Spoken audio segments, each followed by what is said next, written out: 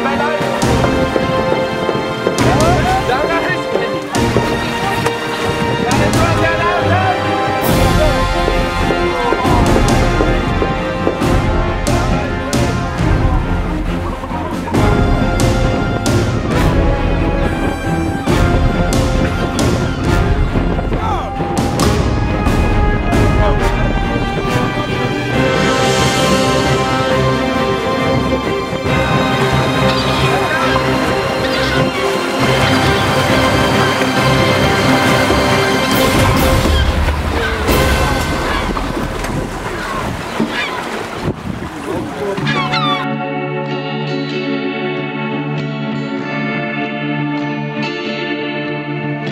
Hello, my name is Dickie Chivell. I work for Marine Dynamics as well as the Dyer Island Conservation Trust.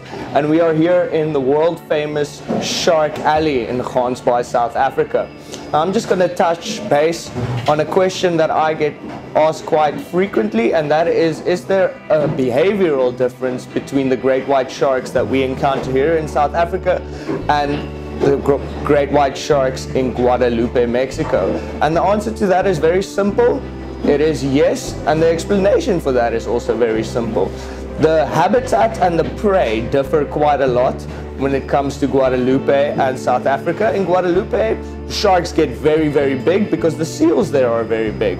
It, they get elephant seals, large tuna, and also crystal clear blue deep water. Whereas the great white sharks here in South Africa, in False Bay, in Gansbaai, in Mossel Bay, they rely more on the element of surprise. That's why the white sharks here are known for the breaching. We have large congregations of seals that leave the island in the morning and come back in the afternoon. And our white sharks here tend to be a bit more on it.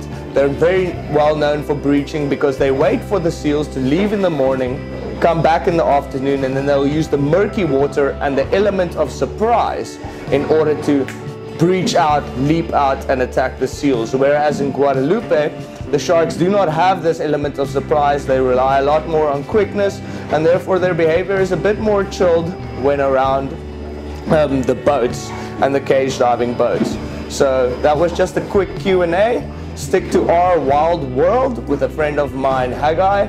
Very passionate human being, very passionate about great white sharks and the greater sense of nature. Stick to him. Check our, out our wild world for more.